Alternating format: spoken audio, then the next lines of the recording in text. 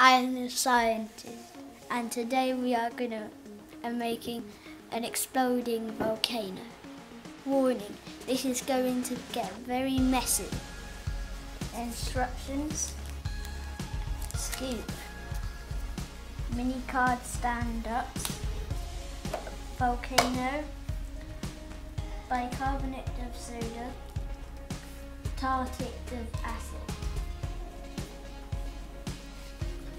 So, we, we have got some soil from the garden and some stones and the, and the pop-up people from the set. Now we are ready to go.